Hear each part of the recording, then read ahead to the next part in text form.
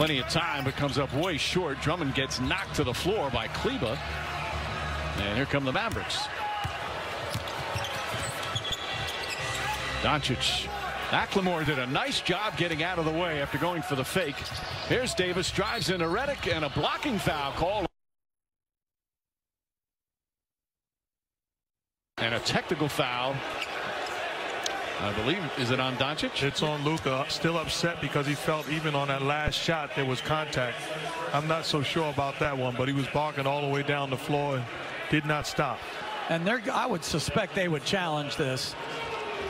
That looked like a charge to me.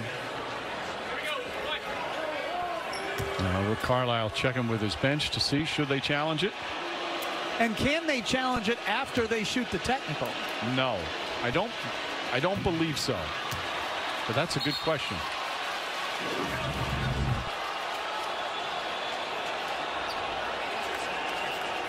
Well, that's the one again. He got thought he got fouled on. Then he was upset because he thought Redick picked up a charge. And Rick Carlisle is actually asking the question, can he challenge, even though the technical was called? They told him no, and he went back to the bench. But Luka is absolutely upset. I wish I knew four languages when I talked to the officials because it would have been such a you could say whatever you want not you, the tone in which you would say it. No. We'd, under, we'd understand. No, that would have been the most beautiful thing. Let's send it over to Rachel. It's interesting. Luka Doncic got so much criticism his first couple